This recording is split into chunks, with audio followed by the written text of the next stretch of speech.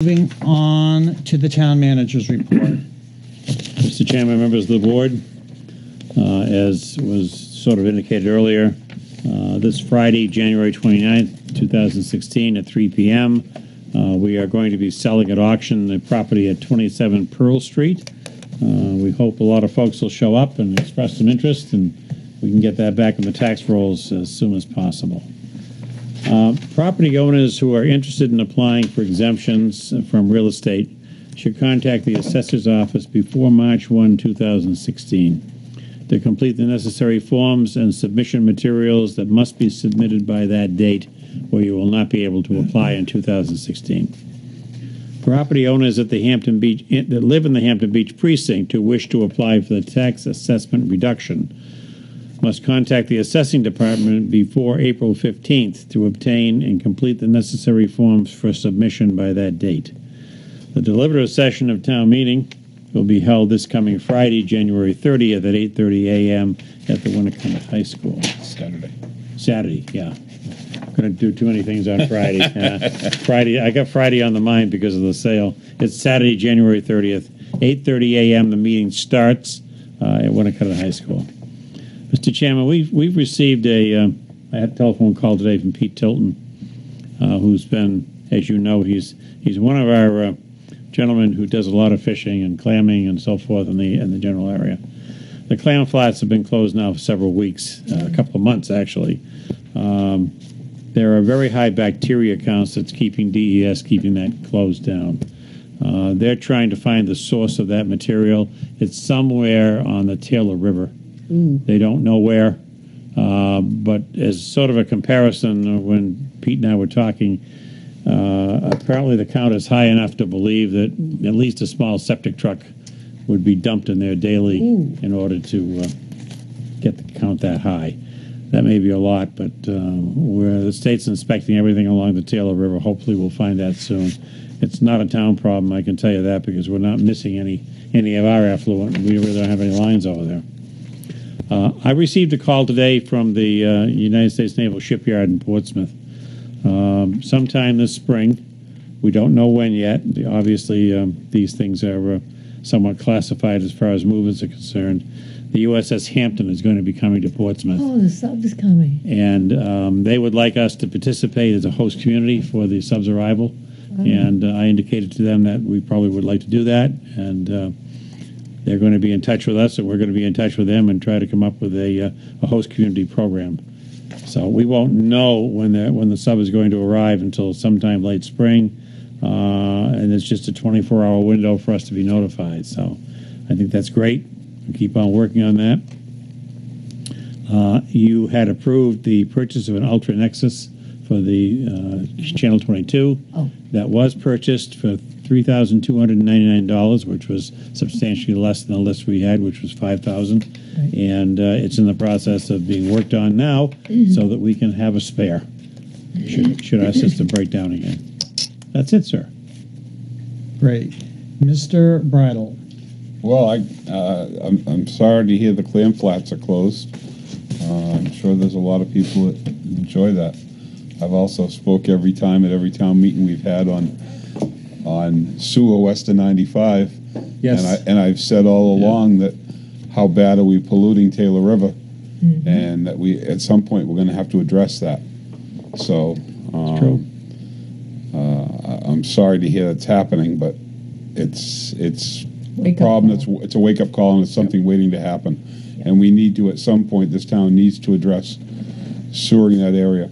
That area is, is probably the most developed area west of 95. There are there are other parts of 95 that are still pretty rural.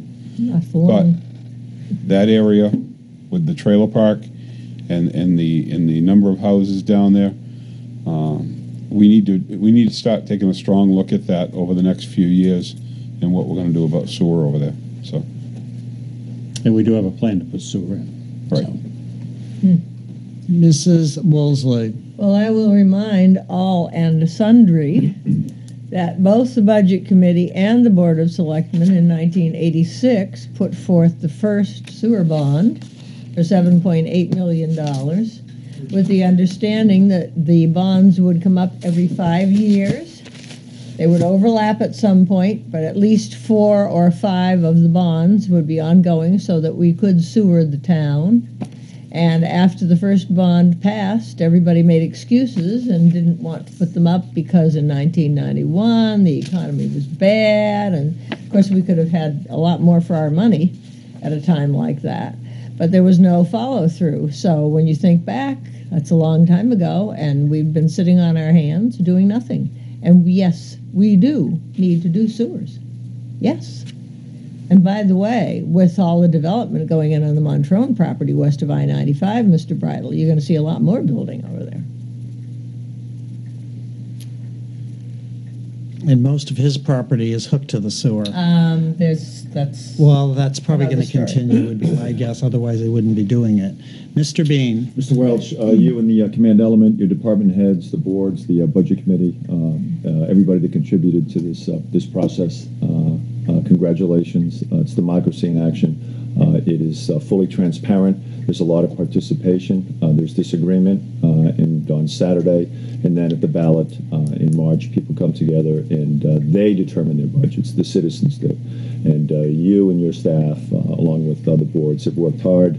And uh, I congratulate you, and it has been a tremendous amount of work, and sometimes it gets overlooked to produce uh, this executive type of quality in the warrants. Uh, and uh, uh, I just can't speak highly enough about uh, your leadership in the town, uh, your subordinates, and your uh, department heads, along with uh, the budget committee and, and this board here under Chairman Griffin. So thank you very much. We all thank you. Yes, sir.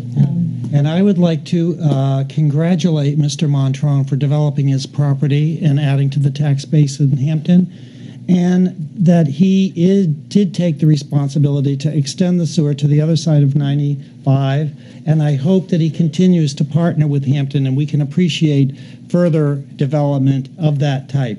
That's the type of thing we need in Hampton, and Mr. Montrone is obviously a leader. Thank you. And Mr. Chairman, Mrs. if I have one more because Rusty got me off the subject on the sewers. Um, Mr. Montrone is not only making the town, uh, benefiting the town, he's benefiting the state to the tune of $105,000 on that cornerstone project.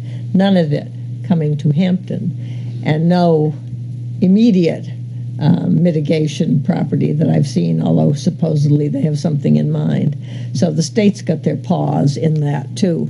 I have a couple of questions for Fred, and I didn't uh, really have a chance to ask when Christy was here.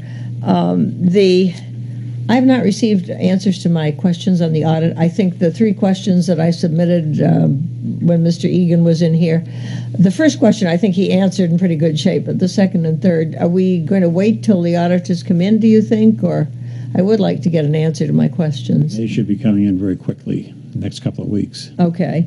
And then on the 611-3 ordinance, because that whole ordinance, the wording of that whole ordinance was replaced. I know I'm being a pain in the neck, but could we possibly see a calculation on that? You said you felt it would come out the same as current, but I, I really would like to see a a Is this under calculation. business or old business? Because we're going to be moving on. Well, to it's under old the business. town, well. Well, I don't see it's it under the listed town- there. well, it's- I don't think it's all something right. he talked Town about. manager, Okay, all Why right. don't you save it for uh, either old Okay. business or new business? All right, um, I will do old business Any other business questions next. about his report?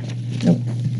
Okay, moving Uh, on to, oh, Mr. Waddell. I knew we were moving on to something. He's over there. Still here, you know, just hanging out. No, I, I just want to ditto uh, on the sewerage thing that it's something that needs to be looked at, it needs to be investigated, it needs to be dealt with.